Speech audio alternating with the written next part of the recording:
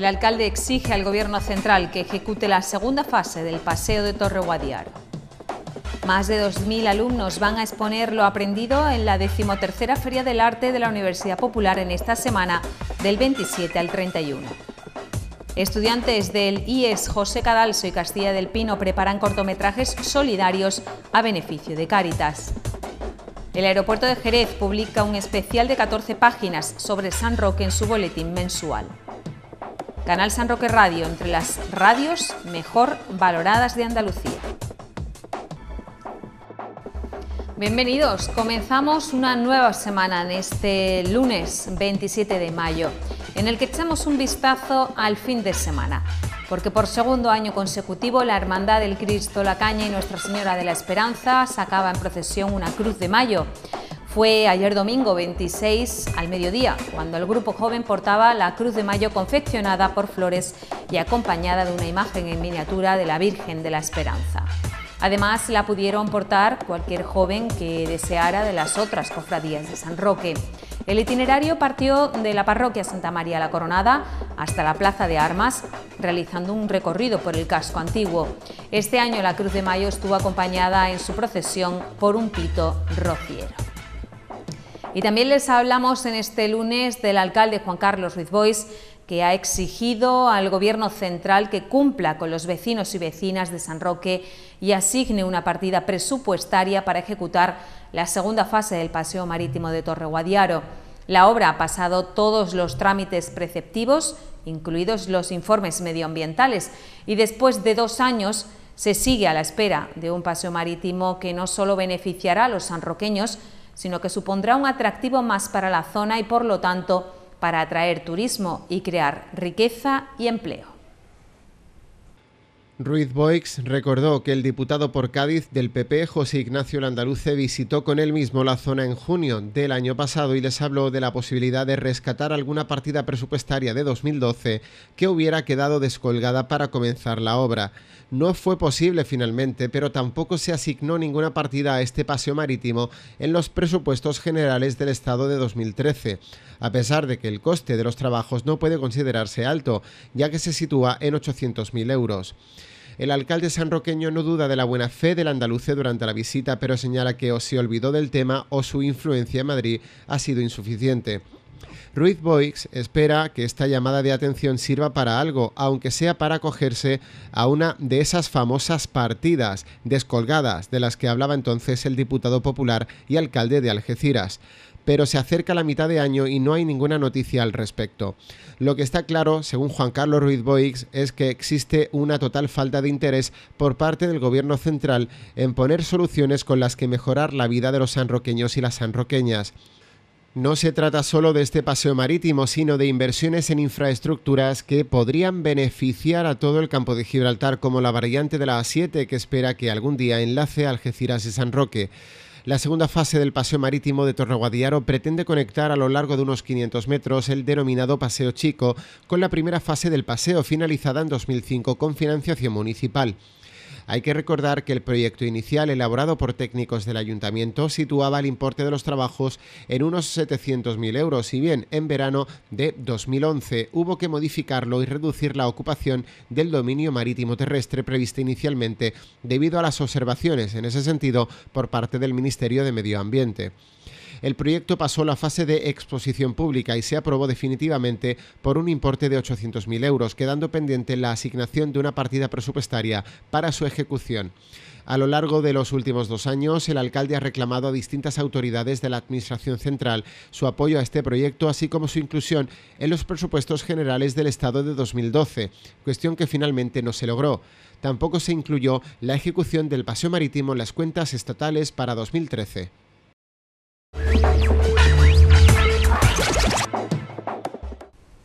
La inauguración oficial de la decimotercera Feria del Arte tendrá lugar mañana martes 28 a las 19 horas en el edificio Cura Romero, aunque las actuaciones han comenzado a desarrollarse en el Teatro Juan Luis Galiardo este lunes 27 a las 20 horas. Un año más, los alumnos de la Universidad Popular van a exponer lo aprendido durante el curso. La decimotercera Feria del Arte de la Universidad Popular se va a desarrollar durante toda la semana en el edificio Cura Romero y en el Teatro Juan Luis Galiardo. La Universidad Popular de San Roque tiene este año más de 2.200 alumnos y se han impartido unos 80 talleres y cursos formativos en todos los núcleos de población sanroqueños. De nuevo, los alumnos de este departamento municipal tienen la oportunidad de demostrar todo lo aprendido durante el curso en los talleres de artesanía y artes escénicas que se han desarrollado en todos los núcleos de población sanroqueños. La inauguración oficial de la decimotercera Feria del Arte tendrá lugar el martes 28 a las 7 de la tarde en el edificio Cura Romero, aunque las actuaciones han comenzado a desarrollarse en el Teatro Juan Luis Galiardo desde este lunes a las 8 de la tarde. La clausura tendrá lugar el viernes a las 9 en el Teatro Juan Luis Galiardo cuando el grupo de teatro Paco Jiménez interprete la obra Melocotón en almíbar de Miguel Miura. Como ha ocurrido en los últimos años, el cura Romero albergará las exposiciones de artesanía y otros objetos elaborados por alumnos y monitores en disciplinas como pintura, cerámica, cestería o bordados cofrades, mientras que en el teatro actuarán los integrantes de talleres de bailes de salón y flamenco, así como los de música y guitarra flamenca. El horario de apertura de la exposición de objetos será de 11 a 1 de la tarde y de 7 a 9 de la noche, mientras que las actuaciones comenzarán a las 8 de la tarde. Paralelamente, la alcaldía de Guadiaro acogerá el jueves y el viernes una exposición de pinturas al óleo y manualidades de la tercera edad que podrá verse la misma tarde del jueves y el viernes en horarios de mañana y tarde. Además, el último acto de la Feria del Arte será la puesta en escena el viernes 31 a las 9 de la noche en el Teatro Juan Luis Galeardo de la obra de teatro Melocotón en almíbar de Miguel Miura, a cargo del grupo de teatro de la UPE Paco Jiménez, dirigido por Fernando Domingo. Más de medio centenar de alumnos de los institutos José Cadalso y Castilla del Pino participaron en la tarde del viernes en una reunión para preparar cortometrajes solidarios a beneficio de Cáritas. El encuentro tuvo lugar en el Palacio de los Gobernadores y además de repartirse las funciones de cada participante, se proyectaron varias diapositivas. La teniente de alcalde, delegada de Cultura, Dolores Marchena, dio la bienvenida a los estudiantes, aunque el peso del encuentro recayó en el joven Arturo García, estudiante del IES José Cadalso y principal promotor del proyecto. La idea es que en la realización de estos cinco cortometrajes se impliquen comercios y personas del municipio, que aportarán kilos de alimentos con destino a Cáritas. Hay que recordar que en la anterior reunión que tuvo lugar en el espacio joven de la Alameda también se contó con una amplia participación de jóvenes. Durante estos días de finales de mayo se lleva a cabo la filmación una vez listos los guiones de los cortometrajes. Además de cultura, colaboran en este proyecto la Delegación de Juventud y la empresa multimedia. En relación a los establecimientos, estos pueden aparecer en los títulos de crédito de los cortos con dos tipos de colaboraciones. Por un lado, aportando alimentos que serán entregados a Caritas o bien colaborando económicamente para el atrezo, maquillaje, decorados, etc. La proyección de los cortos también revertirá en el proyecto, ya que se cobrará una entrada simbólica con destino a Caritas. Además, quieren implicar a otros jóvenes con unas visitas solidarias a San Roque Casco, visitando los museos y dando unas charlas sobre cine, todo ello a cambio de alimentos. Han creado un grupo en Facebook y un blog en los que se ofrece toda la información para colaborar con la iniciativa. El boletín del mes de mayo del aeropuerto de Jerez ha publicado un especial de 14 páginas de San Roque como destino turístico de importancia. Esta publicación en inglés se dirige a profesionales del sector que operan en el aeródromo jerezano en la publicación de forma muy visual, ya que incluye casi un centenar de fotos, se destacan los atractivos de San Roque tales como la cultura, el tipismo de sus calles, la oferta de golf, poli, deporte náutico y el elitismo de Sotogrande, amén de su gastronomía, playas, turismo verde y lugares típicos a visitar. También se incluye una agenda de actos. El boletín del aeropuerto está dirigido a turoperadores que comercializan productos turísticos de la provincia de Cádiz, además de muchas compañías aéreas que operan en Jerez y vuelan a diversas ciudades de todo el continente europeo, tanto con vuelos regulares como charter. La dirección de AENA en el aeropuerto de Jerez había solicitado a la Oficina Municipal de Turismo una presentación en formato PowerPoint del destino turístico de San Roque para publicarlo en su boletín del mes de mayo. La presentación fue elaborada por los técnicos de turismo y consta de diapositivas con fotografías representativas e información básica sobre los atractivos turísticos del municipio, así como un calendario anual de eventos. Esta colaboración entre el aeropuerto jerezano y el Ayuntamiento de San Roque se gestó durante una reunión que tuvo lugar en la última edición de Fitur. Dolores Marchena ha agradecido al director del aeropuerto de Jerez, Rafael de Reina Zavalla, el interés mostrado en este asunto. Cabe reseñar que en el mes de abril ya apareció un reportaje sobre el turismo de toda la comarca del campo de Gibraltar. Los principales atractivos turísticos de San Roque desde el Golf, Polo y Vela en Sotogrande al enclave arqueológico de Cartella aparecieron en este artículo en un lugar muy destacado. Una pausa, seguimos informándoles tras ella. Agadén ha señalado que reclamará, como siempre ha hecho, que las captaciones de agua que se puedan producir en el paraje de la Garganta del Capitán en Algeciras respeten un caudal ecológico que preserve el ecosistema de la zona. El grupo ecologista ha matizado que en realidad su posición es que este tipo de explotaciones carecen de sentido cuando, como en la actualidad, los embalses pueden cubrir el abastecimiento de la población, pero que si se realizan deben velar por la sostenibilidad del entorno. La Delegación Territorial de Medio Ambiente ha indicado que descubrió que la concesión al ayuntamiento para la captación del agua de manantial en la garganta del capitán había expirado tras una denuncia de Agadén el pasado enero. La organización lleva años denunciando una explotación excesiva en el paraje y que en particular se observó una peor situación en el arroyo y en las inmediaciones de la presa de Malgesa. La autoridad portuaria de la Bahía de Algeciras ha remitido esta semana al Boletín Oficial del Estado el proyecto Puerto Ciudad, por el que la institución portuaria urbanizará una superficie de 14.000 metros cuadrados ubicados entre la avenida Príncipe de Asturias y el puerto deportivo Alcaidesa Marina de la línea. De esta forma, la licitación de las obras en las que la institución portuaria invertirá casi 2 millones de euros es inmediata. Tras la licitación y adjudicación, las obras comenzarán después del verano. El proyecto que fue presentado hace unos meses va a permitir que dichos espacios portuarios, que en la actualidad no tienen ningún uso ni actividad, pasen a ser de uso ciudadano. El objetivo fundamental de la iniciativa es acercar a los linenses al mar, recuperando espacios portuarios. Las obras afectarán a un frente de más de 300 metros de largo que contará con dos espacios libres, la Plaza Sur y la Plaza Central para acoger eventos. El Centro de Apoyo al Desarrollo Empresarial CADE de San Martín del Tesorillo, perteneciente a Jimena, impulsó la creación en 2012 de 26 nuevas empresas. Dichos proyectos empresariales generaron en total 29 empleos. Esas empresas han supuesto una inversión estimada de 337.596 euros. La aventura emprendedora fue promovida por 29 personas, en su mayoría jóvenes, más de la mitad son menores de 40 años y el 39,29% son mujeres. Respecto al sector de actividad de estas nuevas empresas, despuntó en primer lugar el de servicios, con el 88,46% del total de empresas creadas. Le sigue el sector de la construcción, con una empresa generada en 2012, la industria con una y por último el sector de las tecnologías de la información y comunicación con otra empresa. En las playas del campo de Gibraltar ondearán cuatro banderas azules, una menos que el año pasado tras perderse la de sobrevela en la línea que se había recuperado en 2012. En conjunto en la provincia serán 26, 5 más que el año pasado. La algecireña Playa de Getares volverá a ondear este verano esta distinción.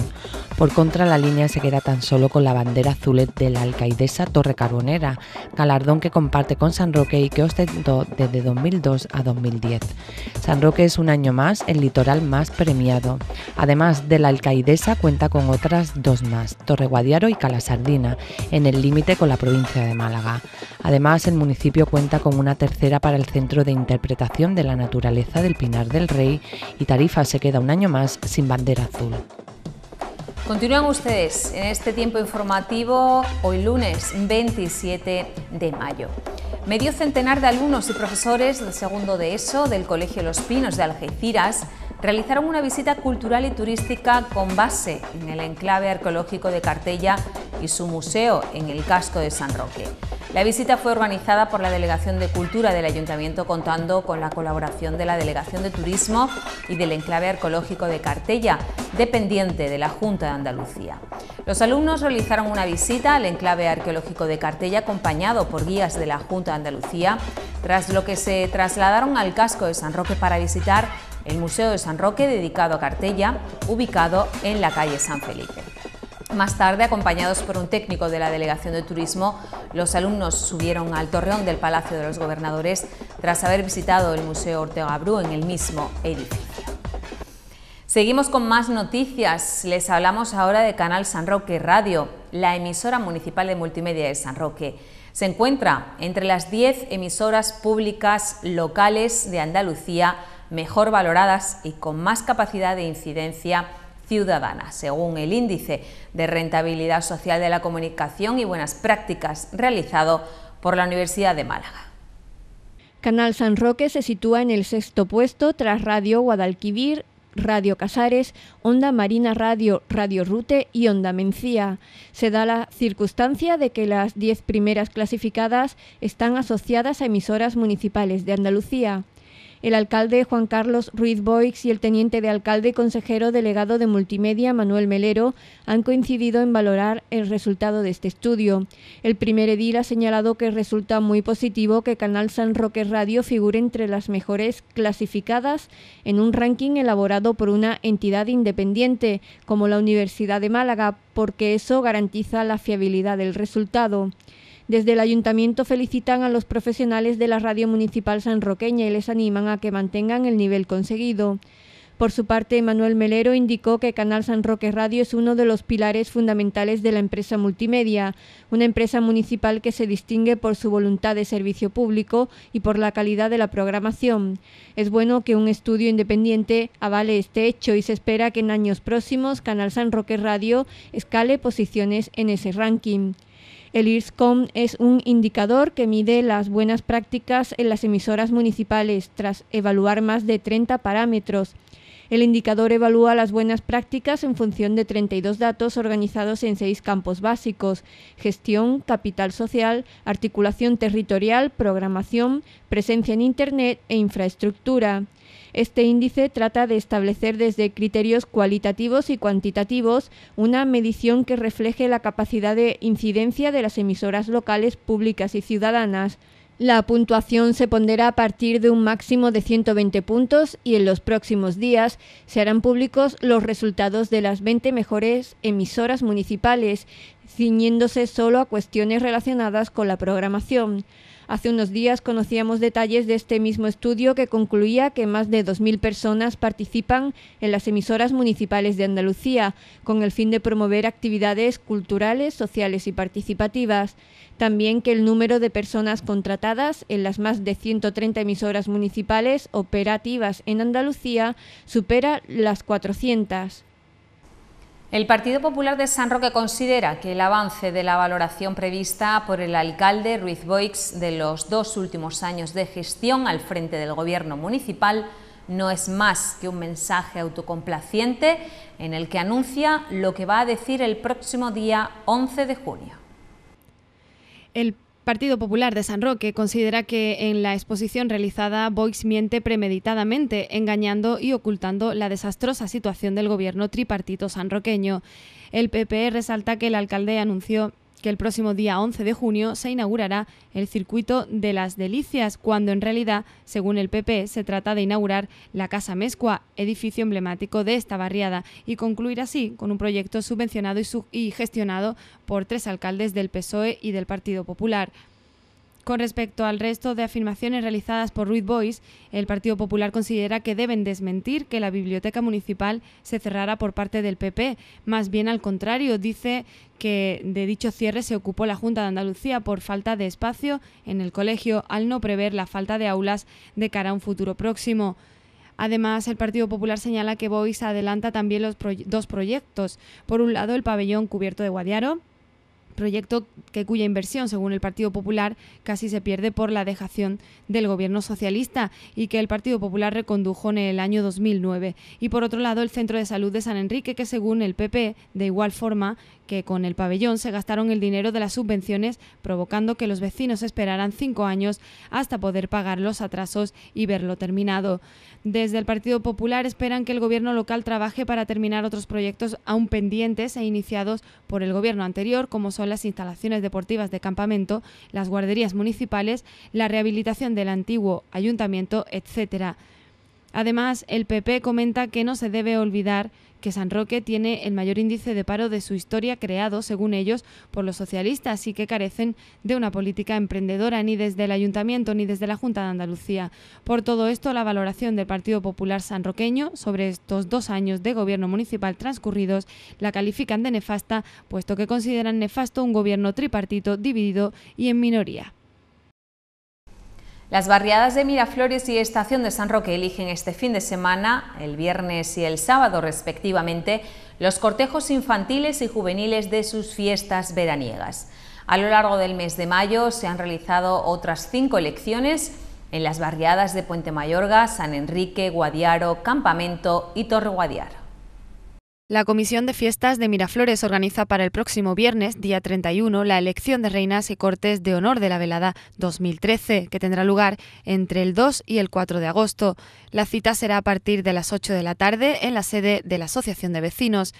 Es requisito imprescindible para participar la residencia en la barriada. Para formar parte del cortejo juvenil, la edad mínima es de 18 años, mientras que en el cortejo infantil se ha fijado entre los 7 y los 9 años. En el caso de la estación de San Roque, el acto se desarrollará el sábado, día 1, a partir de las 8 de la tarde en la Plaza San Bernardo además de la elección de las reinas y de la Corte de Honor de la Feria de la Barriada, que tendrá lugar entre el 15 y el 18 de agosto, el sábado se llevará a cabo el desfile de moda flamenca Esperanza y la actuación del grupo de baile Lola Ponce. Pasamos ahora a conocer el deporte, todo lo acontecido este pasado fin de semana.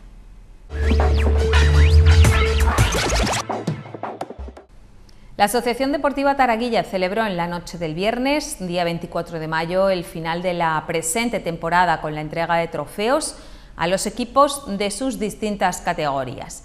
Entre los asistentes al acto, que tuvo lugar en un lleno campo municipal Hermanos García Mota, se contó con varios miembros de la corporación municipal, como el alcalde de San Roque, Juan Carlos Ruiz Bois, y el teniente de alcalde de Deportes, Juan Manuel Ordóñez, además de otros tenientes de alcalde como Manuel Melero y José Vera, quienes felicitaron a directivos, cuerpo técnico y jugadores por su gran labor dentro del deporte base.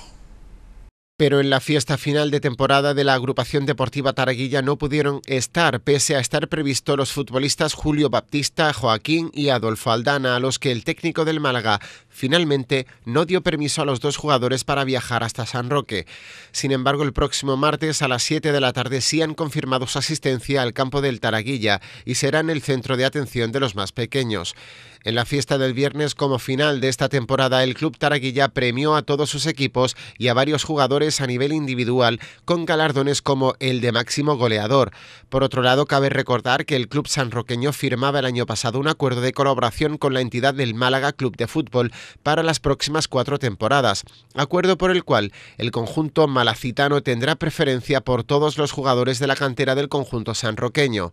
El cuadro de la barriada de San Roque, por su parte, logra ayudas y beneficios la presencia de equipos blanquiazules en los torneos que organice, por ejemplo, y la presencia de sus estrellas en eventos de estas características. Bueno, la temporada ha sido exquisita, pues la verdad es que después de todos los éxitos conseguidos, tanto por parte de juvenil, tanto eh, Alevín preferente, Benjamín preferente y, y pre-Benjamín que hemos sido campeones, la verdad es que más no se puede pedir, aparte de que los equipos han mantenido las categorías todos y todo perfecto. La verdad es que sí, que esto es todos los años lo hacemos por, la causa de los niños. el fallito ha sido que no han podido venir ni tanto Adolfo Aldana, ni Joaquín ni Batista, que nos han confirmado que vendrían el martes y es lo que nos ha faltado en el día de hoy.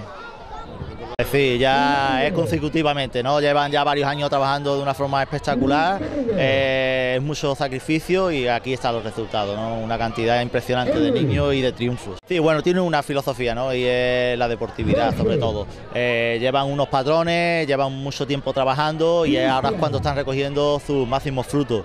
Eh, a la vista está que, bueno, ha llegado incluso con un equipo juvenil a, culminar con la, con la, categoría superior que puede tener en esta, en esta categoría juvenil, que esta es la división de honor, de, que es como si fuera la primera división en, el fútbol hoy en día nacional. Por tanto, eh, creo que el trabajo es muy minucioso, muy especializado y eso atrae a muchos niños y niñas, ya no solo de San Roque, sino de toda la comarca e incluso fuera de la comarca.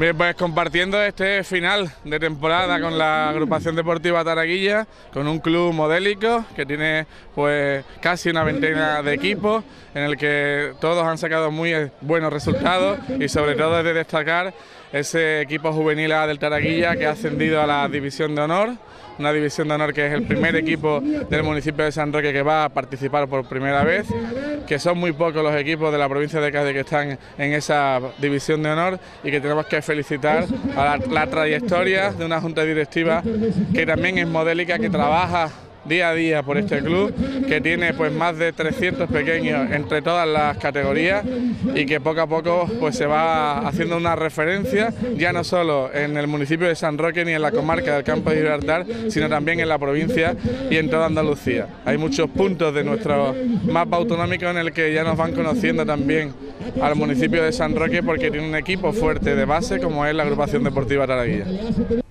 En la mañana del pasado sábado se celebraba el primer torneo de Golf Club Deportivo San Roque con un rotundo éxito de participación y organización. Hasta un total de 70 participantes inscritos disfrutaron de una mañana espléndida de golf en el que la deportividad y el compañerismo fue la nota predominante por encima de la propia competición. En la entrega de premios estuvo presente el teniente de alcalde Juan Roca, delegado del Valle del Guadiaro. Carlos de Andrés, directivo del Club Deportivo San Roque y principal organizador de este torneo de golf, ha querido resaltar que este primer torneo organizado por el Club Deportivo San Roque, cuyo objetivo era recaudar fondos para el club, ha sido un rotundo éxito, por lo que quiso agradecer en primer lugar a los participantes por haber confiado en ellos y apuntarse al torneo y sobre todo a la dirección de San Roque Club y al Ayuntamiento de San Roque, a sus delegaciones de deportes y turismo por la gran colaboración prestada, ya que gracias a ellos ha sido posible la celebración de este magnífico torneo de golf. Por su parte, el presidente del Club Deportivo San Roque, Javier Barberán, que estuvo presente en el acto de entrega de premios, agradeció la colaboración del Ayuntamiento y del San Roque Club en la celebración de este evento. Tuvo palabras de agradecimiento hacia su compañero de directiva, Carlos de Andrés, no solo por haber apostado por la celebración de este torneo, sino también por todo el trabajo realizado en la organización del mismo. Y finalizamos echando un vistazo al viernes 24 de mayo, cuando a las 21 horas tuvo lugar en el Teatro Juan Luis Galiardo un concierto benéfico a favor de Cáritas de San Roque de la orquesta Plectrum Gaditanum, en el que colaboró la Delegación de Cultura del Ayuntamiento sanroqueño.